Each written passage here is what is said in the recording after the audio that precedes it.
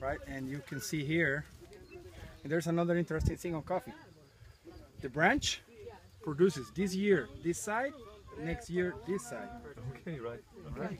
So next year it's gonna be here. Вот это и есть кофейная here. плантация.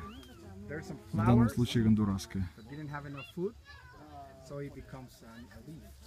Молодая еще, кстати. You see the flower, cinco picos en la flor, va a ser hoja.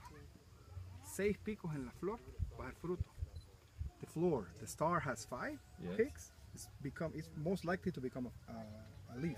Okay. If the flower has six, yeah, it's most likely to become a fruit.